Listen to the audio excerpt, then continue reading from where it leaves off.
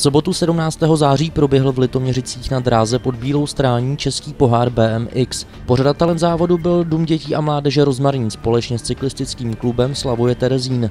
Závodu se zúčastnilo 82 jezdců, z toho 14 příchozích a soutěžilo se za skvělé podpory zhruba 300 diváků. Dům dětí a mládeže Rozmarín skvěle reprezentovali.